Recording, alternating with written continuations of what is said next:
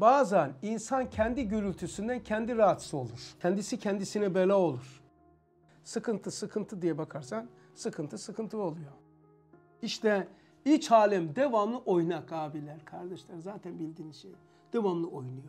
Sabitiyet yok yani. Mesela hasta olmayayım diye hasta olanlar var. Ustad da diyor ki güzel ahlaklı olduğundan güzel düşünür.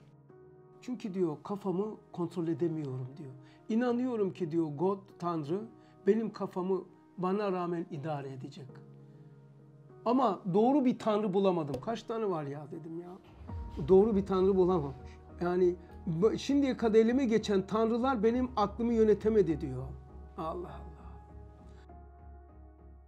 Evet, selamünaleyküm arkadaşlar. Hoş geldiniz. Kalkıyor mu? Kalkıyor. Sözler var mı?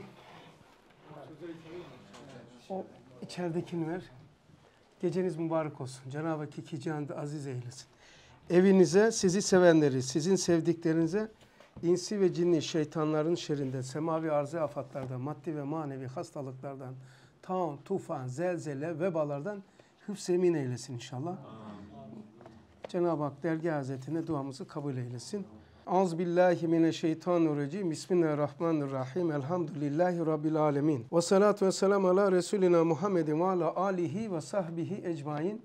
Ala Resulina Muhammedin selavat.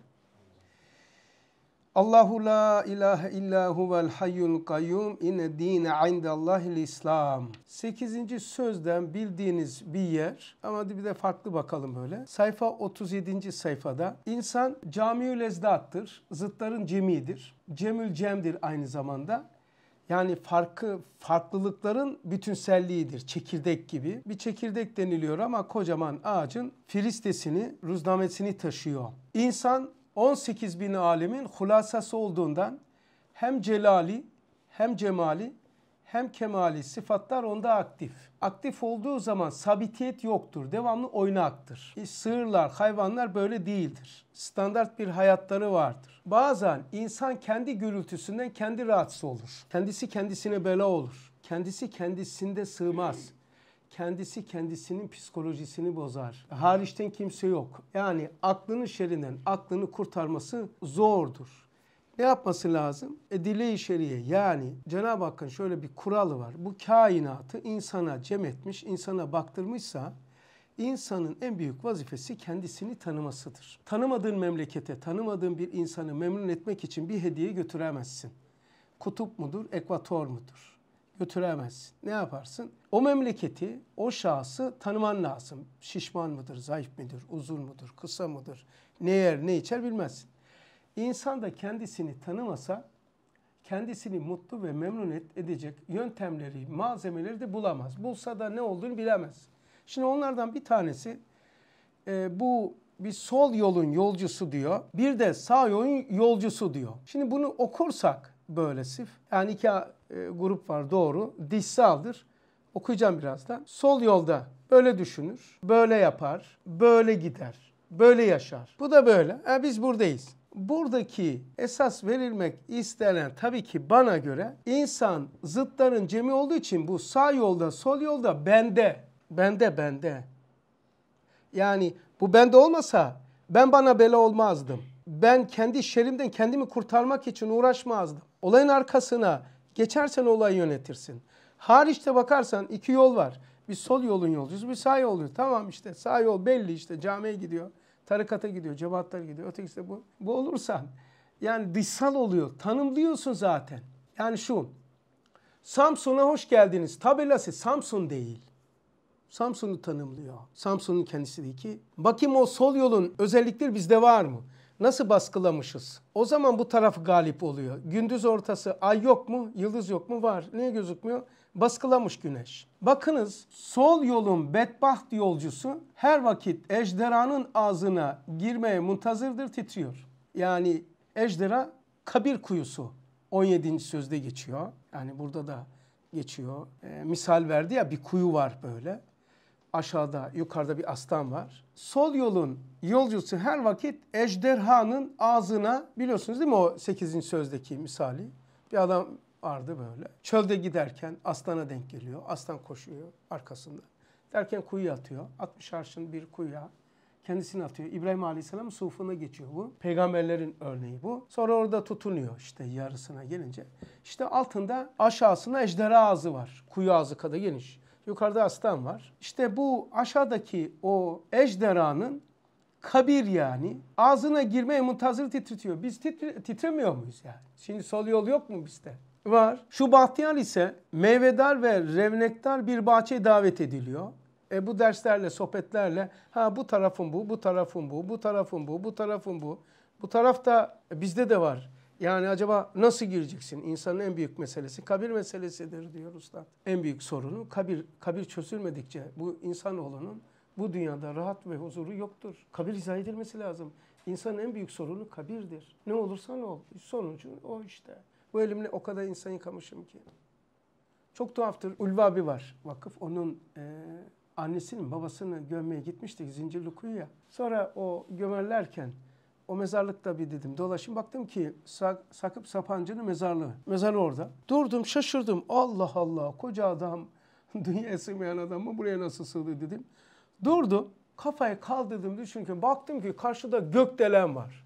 Akbank'ın böyle gökdelen sitesi. O da onun. O gökdelenin sahibi böyle aynı böyle baktığın zaman mezarı ben gördüm söylüyorum. Baktığım zaman gökdelenin sahibi Akbank.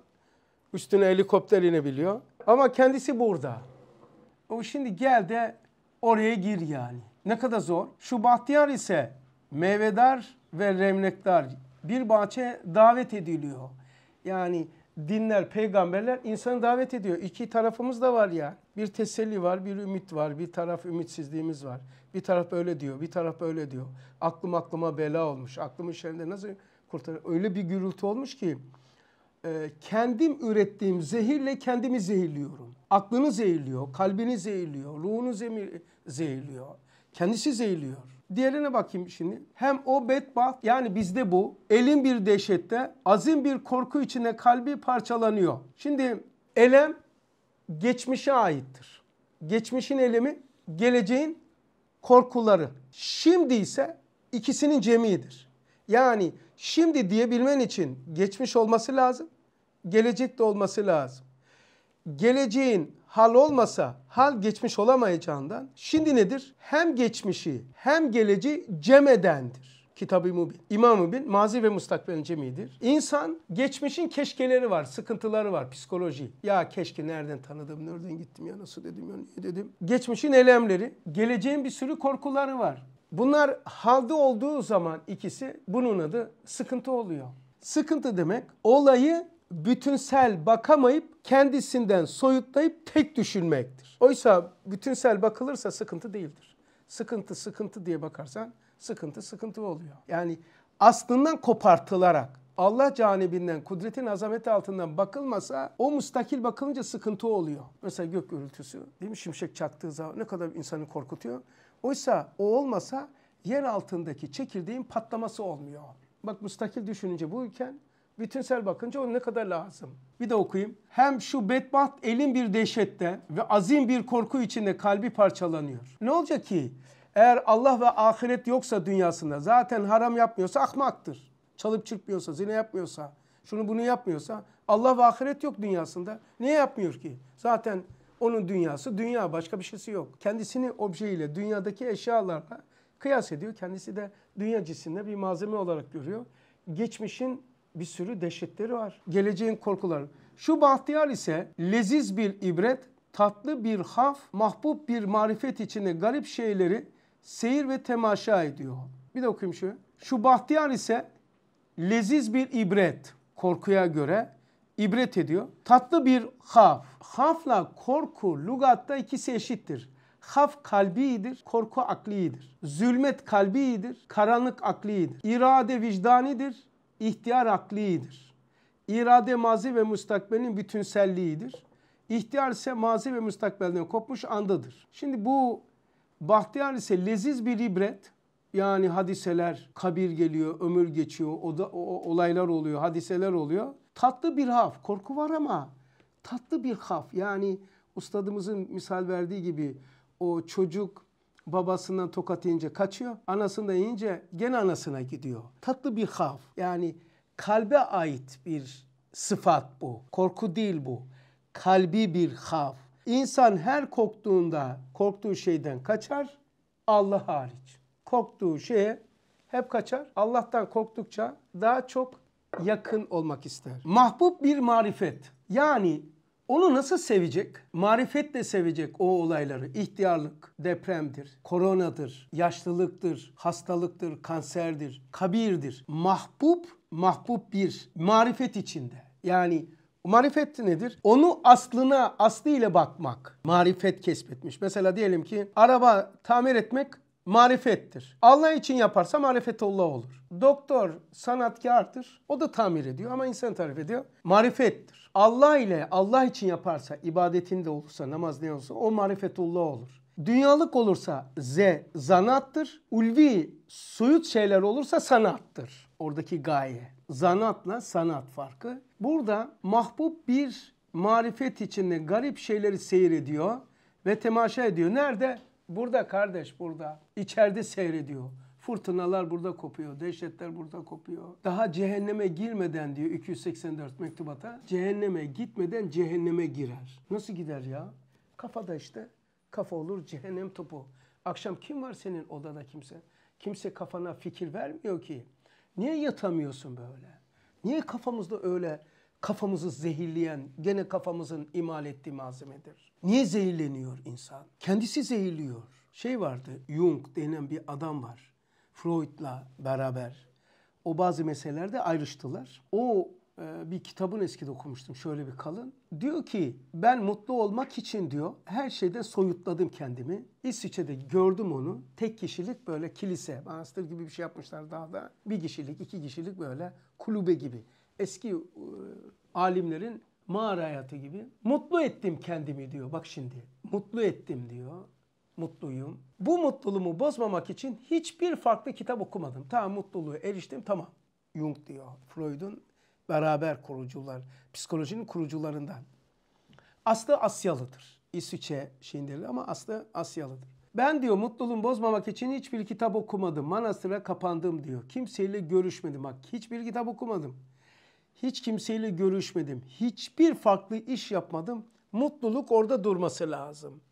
Sonra hayli zaman sonra diyor o diyor kilise manastırdayken baktım ki diyor o benim doğrularımın ara boşluklarını ara boşluklarını birisi gene bende keşfetmiş, bulmuş, girmiş böyle tepe takla yapmış. Kendimi mutsuz hissetmeye başladım. Diyor ki kitap okumadım niye mutsuzum? Kimseyle görüşmedim niye mutsuzum? Toplumda değilim niye mutsuzum? Ha sonra şöyle demiş. En son öyle bitirmiş. İnsanın kendisine rağmen kendisine zıt çalışan bir sistemi var. Eğer insanoğlu onu tespit ve teşhis edemezse, çözemezse ona mutluluk yoktur. Kendisine zıt çalışan bir sistem. İşte bizde o sistemin adı şeytan. Sistemin adıdır yani. Yani yapı. Hem celali hem cemali tecelli. Bakın adam mutluluğu yakaladı. Niye orada durmuyor? Niye uçak gibi o irtifada kalamıyor? Hadiseler olunca fırtınalar irtifasını bozuyor. Mutluyuz. Ha böyle kalsın. Veya bir derste mutlu huzur olduk. Çıktı birkaç saat sonra, birkaç gün sonra onunla, onun yerine yerler esiyor. Ne oluyor ki? İşte iç alem devamlı oynak abiler, kardeşler. Zaten bildiğiniz şey. Devamlı oynuyor. Sabitiyet yok yani. Mesela hasta olmayayım diye hasta olanlar var. Hasta olmayayım diye hasta olmuş yani. De onu şu o, bu zaten hasta olmuş. İşte mahbub bir marifet içinde garip şeyleri seyrediyor. Nerede seyrediyor? Kendisine seyrediyor. Tufanlar kopuyor. Cennet asa bahçeler oluyor. Temaşa ediyor. Hem o bedbaht, şimdi öteki leva, yani bizdeki içimizdeki leva. Buraya baktığın zaman ben böyle baktım. Çok istibad ettim. Siz de böyle bir bakın. Yani böyle hariçte böyle bir adam da var. Böyle bir adam var. Ben bunlardan bir tanesi seçeyim. İkisi de benim. Arş benim, kürs benim, cennet benim, cehennem benim. Her şey bende. Cemül, cemim, camül, ezdadım ben. Zıtların cemiyim. Sen cilmi ve e, kütlene diyor, küçüklüğüne bakma diyor işaret icazda Hazreti Ali söylüyor. Sen bütün alem sen, sende dürülmüştür diyor. Sol da sende, sağ da sende. İman da sende, küfür de sende. Küfür kalbe aittir. Küfür Allah'a inkar değildir. Örtmektir. Küfür imana zıttır kalbe. Şirk itikada zıttır, dimadadır. Şirk e, eş koşmak. Gene inkar değil o. Şirki terk ettiğimiz kadar akılda itikat olur. Küfrü terk ettiğimiz kadar kalpte iman olur. Küfür kalpte değil, lüme-i şeytaniyededir. Küfür vasfı. İşte insan kendisini seyrettiği zaman yani küfürsüz iman var mı? Öyle bir şey yok ki. Zaten iman değil o. Küfür imana hizmet eder diyor. Üstad işaretleyeceğiz da. Böyle bir şey yok yani. Zıtsız iman, zıtsız bir itikat yok ki. Mesela diyelim ki küfür yolu yok. E nereye iman diyeceksin? Neyi terk ettin de iman olmuş? Ne, neyi terk ettin de iman olmuş? Nereye karşı, nereye rağmen bu? Neyin, neye rağmen? Mesela küfür örtmek. Örtüyor. Ya boş ver böyle ince şeylerle meşgul değilim. Bir tane sormuştum. Allah ile aran nasıl dedim. Ben böyle hobim yok diyor. Yani böyle zannediyor yani. Alman bu. Hobi diye bakıyor. Alman bu. Gelmiştim. İnsan, insan ne acayip bir alem ya. Onu seyrederken kendimi seyrediyorum ya. Hepsi bende var zaten. Ona rağmen bu tarafımız. Baskılıyoruz ama bu taraf zayıf oldu mu bu ortaya çıkıyor. Niye Risale-i Nur devamlı okun deniliyor? Çünkü bunlar devamlı baskılanması lazım. Adem Aleyhisselam'dan kıyamete kadar maddi ve manevi şifa ve hastalık hepsi insanda cem olmuş. Peki dışarıdaki yeni çıkan korona vesaire virüsler ne yapıyor? Bende var olanın üstünü battaniyesini açıyor da ortaya çıkıyor. O zaten var bende. Herkes kanser, herkes her türlü hastalığı hamiledir. Ama zaafı bulduğu zaman, zeminin bulunduğu zaman aktif oluyor. O yazılım bizde var. O yazılım bizde var yani. Devam edeyim. Şimdi bak esas serte doğru gidiyor. Hem o bedbaht. Bedbaht ne demek Salih? Bedbaht. Bedbaht ne demek abiler? Talihsiz. Talihsiz. Lügat manası. Lugat manasız. He. Yani kaçıncı sözde geçiyordu bu hatırladınız mı? Bedbat, bedbin, evet hodbin, o dendiş. Yani bahtı kara derler ya. Aslında bahtı kara e, lugat veriyor ama o kendisi celbetmiş. Olumsuz. Biraz önce adamla konuşuyorum. Tamam diyor arabada arkadaşlarla size de daha çayda söyledim. Çok tuhafıma gittiği için tam da şu anda diyor gündüze akşama akşama yetişiyoruz derse arabadayım. Diyor ki senle şu anda konuştuğum şeyi diyor realit olduğunu, uy- uyku olmadığını nereden bileceğim dedi. Şu anda belki uykudayız dedi. Bunlar sofistayı yani. Bunu Risale'de sofistayı yani. Auguste Comte kurucularında. Ama Üstad da bir, e, inkara göre bunlar biraz da akıllılıktır. Kainatı kabul edip de Allah'a kabul etmemektense sofistaylar demiş ki Allah'ı reddedecek edeceğiz. Bir yolu var. O zaman bu mevcudatı görüp kabul edip de Allah'ı inkar etmek imkansız olacağından Allah inkar adına bu mevcudat yoktur. Peki nedir bu? Hep hayaldir. Bak ta bizim memleketi, bizim şey insanımıza kadar girmiş. İzah ediyorum. Anlattıkların şu anda uykuda olmadığımızı nereden biliyoruz dedi. Hem o bedbaht ya ne kadar şükretsek diye anlatıyorum bunu biliyor musunuz? Hepsi bizde var. O kardeş değil. O kardeş hepsi bende. Camiül ezdat, cemül cemiz hepimizde var yani her türlü ahlak, her türlü sıfat. Ama bakın şirki baskıladık, itikadımız. Küfrü baskıladık, imanımız. Küfür yok olmadı. Yok olmadı, baskılandı, örtüldü. Ama bu kalktığı zaman bu aktif oluyor. Zıtların cemi hem o bedbaht, vahşet ve meyusiyet. Kendisi nasıl görüyor? Bahtım kara, vahşet. Vahşet şu. Helikopterle aldılar sizi saf- safariye götürdüler Afrika'ya.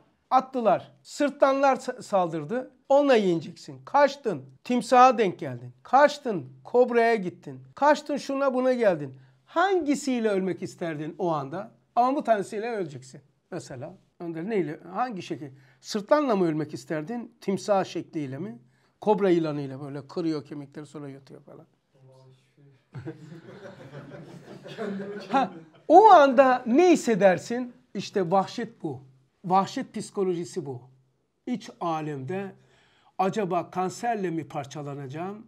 Trafik kazasıyla mı? Depremle mi? Deprem hiç gördünüz mü? Daha önce ölen var mı aramızda? Yani ben...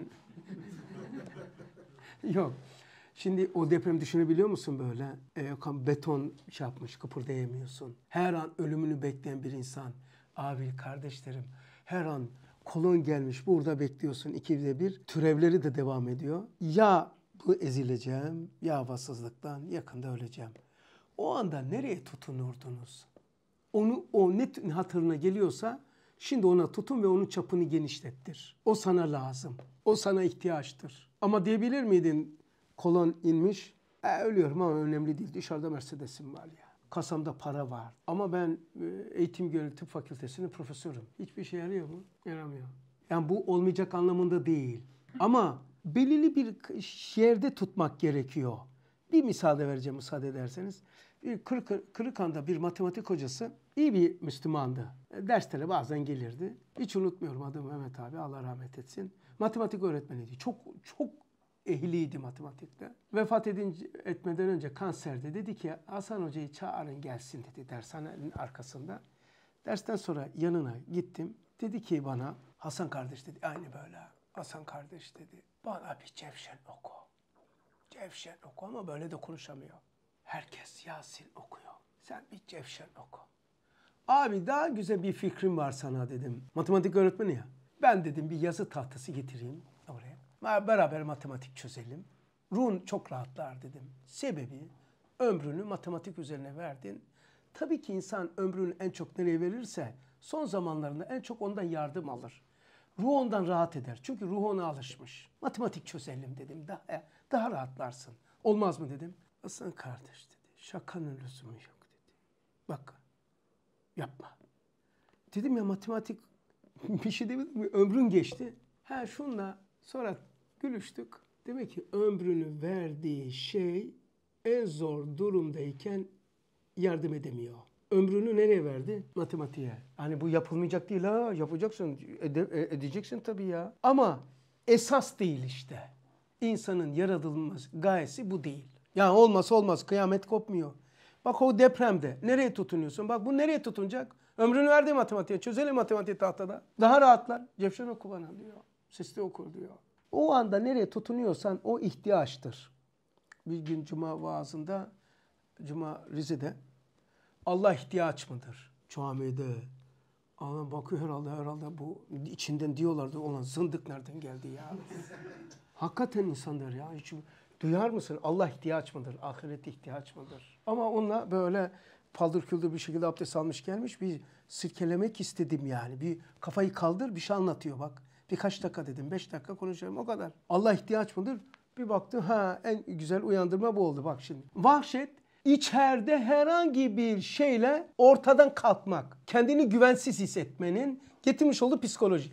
Vahşet. Üç, meyusiyet. Allahsızlık. Allah kimsenin başına vermesin bu. Yani aleminde Allah yok. Sonra kimsesizlik bu da dima ait. Vahşet kalbe ait. Kimsesizlik akla ait. Hiçbir doğruya tutunamıyorsun. Emin değilsin hiçbir şeyden. Adama izah ediyorum. Geldi geldi ne güzel ikna ettim. Birkaç dakika. Sonra dedi ki şu anda uykuda olmadı. Sonuç itibariyle mutlu musun? Olsun lan uyku olsun. Olsun uykudayız şu anda. Ben uykuda araba kullanıyorum şimdi. Arabadayım uyku. Tamam sonuç itibariyle mutlu musun? Ki yani akılda kendisini tutunacak doğru malzemesi olmaması. Yani o zaman neyi getiriyor? Mesela bardağı gösteriyorum. Bu nedir? Havuç değildir. Güneş değildir. Yani dünyanın içindeki eşyayı birbirine kıyas ederek eşyayı tanımlayamazsın. İnsan bu cinsten değil.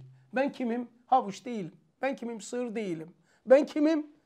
Ben güneş değilim. Yani izah mı şimdi bu? Bu izah değil ki. O zaman Nasıl kurtulacaksın kimsesizliğin vahşetinden? Çok korkunç bir şey ya. Yani biraz böyle e, örf, anane, kültür ve gelenekten din gelmiş de rahatız. Bir de insan aleminde din yok. Devamlı uyuşturuyor. Dedi ki o dedim ya hobim yok diyen adama zayıf uzun böyle. Gemi mühendisi ha, gemi inşaat mühendisi. Peki dine niye ihtiyaç duydun geldin? Çünkü diyor kafamı kontrol edemiyorum diyor. İnanıyorum ki diyor God, Tanrı benim kafamı bana rağmen idare edecek. Ama doğru bir tanrı bulamadım. Kaç tane var ya dedim ya. Doğru bir tanrı bulamamış. Yani şimdiye kadar elime geçen tanrılar benim aklımı yönetemedi diyor. Allah Allah. Şu bedbaht, vahşet, meyusiyet, kimsesizlik içinde azap çekiyor. Şimdi bunun tersi olacak. Şu bahtiyar ise bu tarafımız var. Şimdi bu taraf ünsiyet var. Ülfet değil. Ülfet alışkanlık. Ünsiyet ise devamlı yakınlık hissetmek. Ne hakime? Kendisi kendisinden lezzet alıyor. Düşünebiliyor musun önünde? Bak kendisi kendisinden kaçmıyor. Kendisi kendisine bela değil. Kendisi kendisini zehirlemiyor. Kendi aklından, kendi aklını kurtarmaya çalışmıyor. Kendisiyle baş başa kalmaktan lezzet alıyor. Kendini böyle din, dinlerken dingillik hissediyor yani armoni hissediyor. Yani armoni demek şu bir müzik bir, e, orkestrasında farklı cihazların aynı notayı vurması. Sesler farklı ama aynı notayı vuruyor. İçeride de böyle bir dinginlik var. Fark, her bir his, her bir fikir, her bir duygu farklı şey söylüyor ama aynı notayı basıyor. Bir denge var. Bunun adı ünsiyet. Kendisi kendisini ünsiyet etmesi. O kadar büyük nimet ki ya. Bunu ifade edemiyorum ama lütfen. Ünsiyet yani ben kendimden lezzet alıyorum. Ben bende olmakta memnunum. Farkındalığımdan keyif alıyorum. İyi ki varım diyorum. Yani hayata lanet olsun nereden geldim demiyor. Ünsiyet. Sonra meyusiyetim o vahşetti, vahşetti. Bu ünsiyet. Ötekisi meyusiyetti. Bu ümit. Öteki kimsesiz. Bu ahirete iştiyak. Arzu ediyor. Olan kimsesizim. Kafamı kesecekler atacaklar şu kuyuya. Kabiri başka nasıl görecek ya? Kafası kesilip kuyuya atılmaktan. Ama bu iştiyakla bekliyor teris olmayı. Hatta büyük zatlarda böyle. Bazıları demiş ya Rab elini ovuşturmuş. Sıram niye gelmedi? İştiyak etmi, içinde telezzüz ediyor. Yani iki tarafta var abiler. Mevsiyet var, ümit var. Vahşet var, ünsiyet var. Onun kimsesizlik bizde var, iştiyak da var.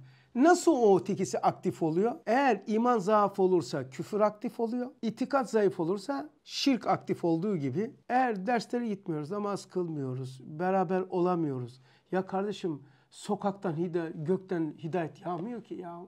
Hidayet yağmıyor ki. Hidayet ruhun cennetidir diyor.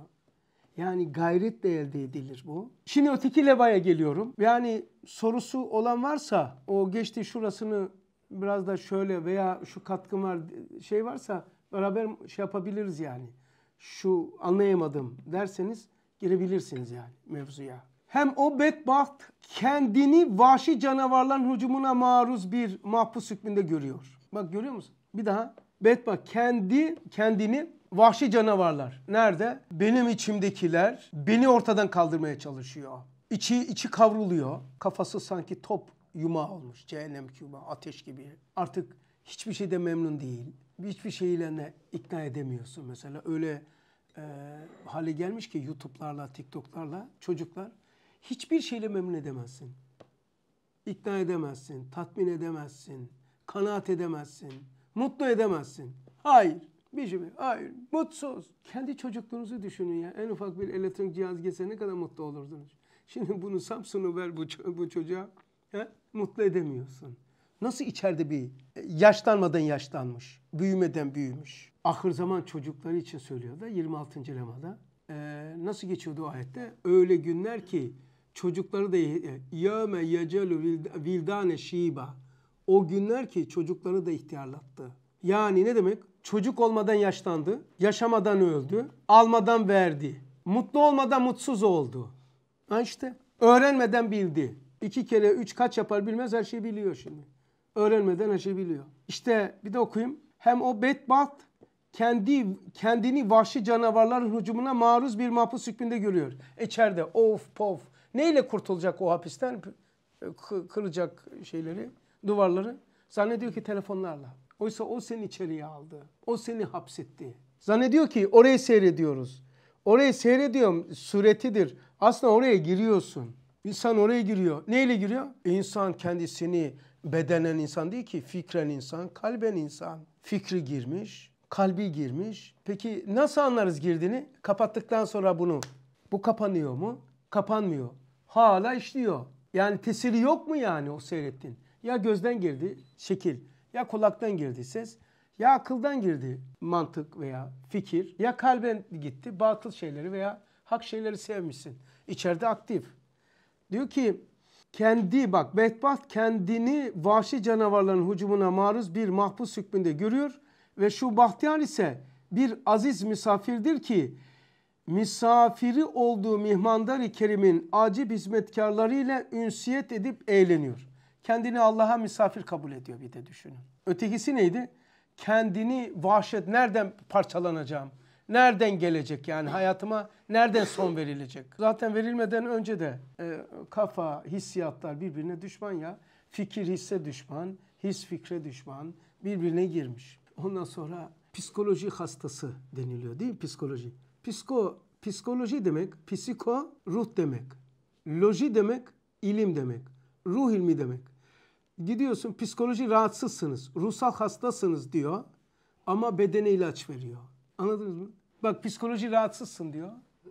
Psiko demek ruh demek, loji demek ilim demek. Ruh ilmi ruh hasta diyor. Tamam. Nereye ilaç veriyor? Bedene. Bedene ilaç veriyor. O, o, o da sebep verebilir. Mesela karaciğer yağlanmış, karaciğerde sıkıntı olan halüsinasyon çok görür. Vehim ve vesveseleri çok olur. Eski eserlerde yazarlar. Oradan okudum. Karaciğerinde biraz sıkıntı olan halüsinasyonlar çok görür. Şizofreniye benzer şeyler olur diyor. Tamam böyle. Kendi hususi bir dünya kurar böyle karaciğerde. E şimdi bu, bu olur ama o kalktığı zaman gene devam ediyor. Yani bakın ruhun rahatsız diyor. Ne yapsın? Ruha ilaç nasıl verecek? O zaman bedeni devre dışı yapacak, uyuşturacak. Belki biraz rahatlar. Öyle işte 10 sene, 5 sene kullanacaksın. Kullanmayacak mısın? Kullan. Belki serotonin, dopamin maddesi, androfin şeyleri, maddeler eksik olabilir ama ikisini beraber götürmeyi söylüyorum. Yani hem maddi tedavi hem manevi tedavi. Manevi tedavi işte Cenab-ı Hak o kalpler, akıllar ancak Allah'a zikretmek, ibadette, eylemlerle zevk alır. Hem son okuyayım şunu keseyim. Hem o bedbaht zahiren leziz manen zehirli yemişleri yemekle azabını tacil ediyor. Zira o meyveler nümunelerdir. Tatmaya izin var, asıllarına talip olup müşteri olsun. Yoksa hayvan gibi yutmaya izin yoktur. Şu bahtiyar ise tadar, işi anlar. Yemesini yoksa yemesini tehir eder ve intisarını telezzüz eder. Yani yemesini te- te- tehir eder, yemeyecek mi? Hayır.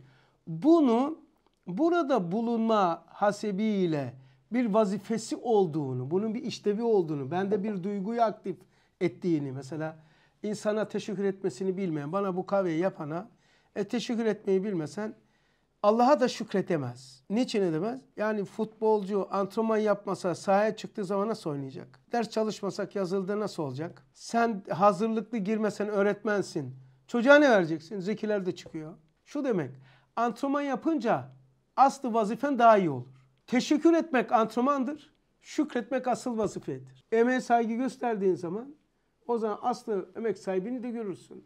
İşte diyor ki yemesini tehir eder. Yani sırf onu onun için yemiyor. Onun için bulunmuyor. O işlevin içerisinde bir vazife olduğunu görüyor. Hem o bedbaht kendi kendine zulmetmiş, gündüz gibi güzel bir hakikati ve parlak bir vaziyeti basiretsizliğiyle kendine müzlim ve zulümatlı bir evham, bir cehennem şekline getirmiş. Burada bir şey söylemek istiyorum. Bu ortasında da geliyor şu aşağıda ama ben keseceğim için Freud'la alimler arasında bir temel ciddi bir farklılık var. Diyor ki Freud, düşünceler ahlakı oluşturur diyor. Düşünceler ahlakı oluşturur. Ustad da diyor ki, güzel ahlaklı olduğundan güzel düşünür. Güzel gören, güzel düşünür, güzel düşünür, hayatından lezzet alır. Güzel ahlaklı olduğu için güzel düşündü diyor. Hatırladınız değil mi burada altında? Ee, güzel ahlakı yani içsel bütünlük. Ahlak demek huyların, huy, huylukların, sıfatların cemidir. Yani akıl vicdanla, vicdan kalple çatışmayacak. Bütünsel oldu mu o güzel ahlak. Hani Peygamber Aleyhisselam demiş ya ben 124 bin peygamberin dinini tamamlamaya geldim. Öyle mi demiş? Ne demiş? Güzel ahlakı tamamlamaya geldim. Bak ahlak huy yani huluklar yani fıtratı asliye kemalini bulmaya. Şimdi güzel ahlaklı olduğu için ona güzel düşünceler vermiş. Hani şeyde de söyler marifetnamede diyor ki İmam Ali'den bir şey yapayım bu lağda. Diyor ki kirli çamaşıra koku değil diyor sabun lazım diyor İmam Ali radıyallahu anh. Aynen bunu gibi de koku var ya ağır koku kişi. İnsanın şey teri yani. Ona koku değil ahlakını düzeltmesi lazım diyor. Peygamber aleyhisselatü vesselam'dan örnek veriyorlar. Ta oradan geçerken hangi sahabenin bu akşam evde sohbet yapıyor? Bıraktığı kokulardan anlarlarmış. Öyle güzel kokuları varmış. Mesela şarap içenin, içki içenin, içenin teri de necistir. Birbirimizin öyle değil ha. Sarılabiliriz ya. Mübarektir. Ama içi bak dişa vurmuş. İşte burada diyor ki ahlak güzel düşünceleri doğurur.